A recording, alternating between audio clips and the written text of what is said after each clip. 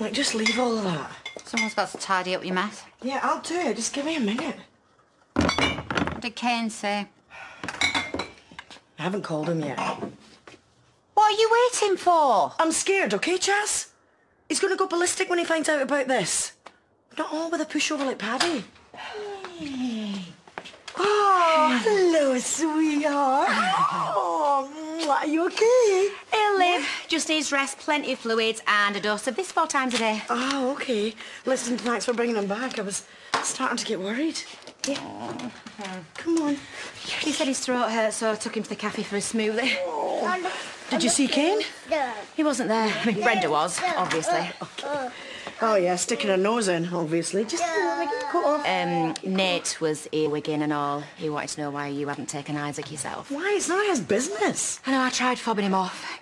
He asked if you'd been drinking. What, in front of Brenda?